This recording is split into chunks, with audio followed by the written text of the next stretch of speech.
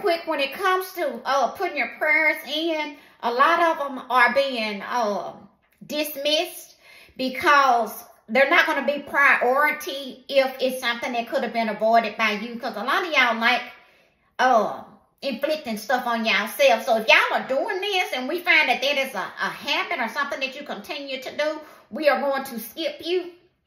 Um, there's so much more important things going on in the world that we're not going to bother him with your prayers because this is something that you could avoid yourself. Okay, guys? It's not going to be a priority. So stop calling up here saying what list, what number are you? What number, what number am I? What number am I? You're not on the list.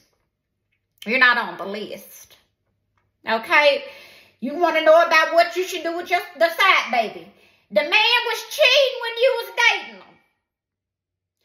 The girl came to the wedding with her new baby. The baby was three weeks old, and you let them stay at the because you was trying to, you know, accept a new family and, and, and y'all new normal. Now y'all done started a marriage success podcast and he done popped this new baby up on you. What should you do?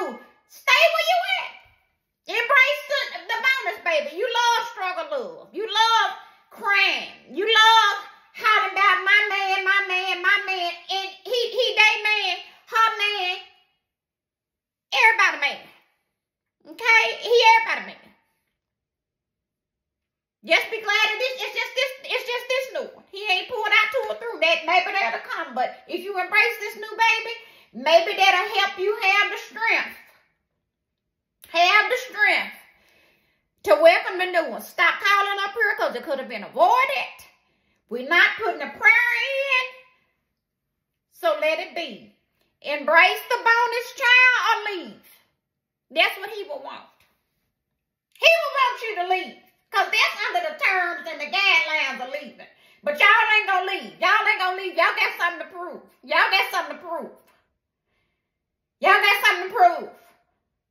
A lot of y'all got the fences mentality and, and want to help, help, go, go help raise the child. No, ma'am, no, you won't. Not, not over here, you won't.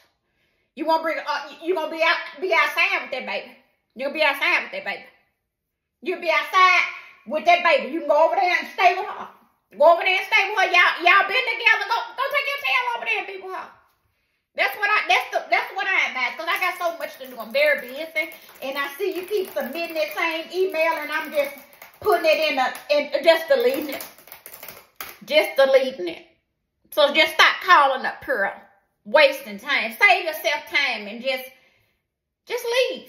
Leave or embrace the new baby. That's all I can tell you. But you're not on the list. You're not gonna be on the list.